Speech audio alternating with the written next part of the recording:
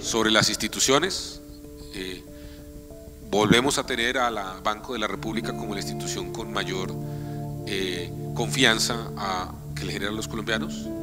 El Ejército Nacional está en el segundo lugar. Por primera vez la registraduría aparece en el tercer lugar.